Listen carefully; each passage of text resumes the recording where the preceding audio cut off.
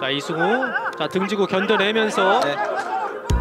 자두 명 사이에서 일단 발 맞고 터치아웃 됐습니다. 자 이승우 맞고. 오 네. 됐습니다. 자 이승우 맞고. 오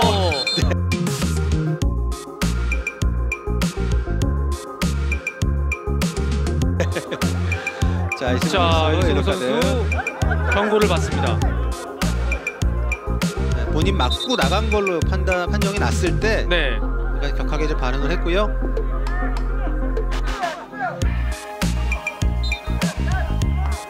한 골차 싸움이다 보니까 이런 스로인 선을 하나에도 굉장히 양팀 예민할 수밖에 없습니다. 그렇죠. 수원 FC 입장에서는 여기서 네. 만약에 한 방 얻어 맞으면은 다리 힘이 또 풀릴 수 있는 아유, 상황이거든요. 그렇죠. 네.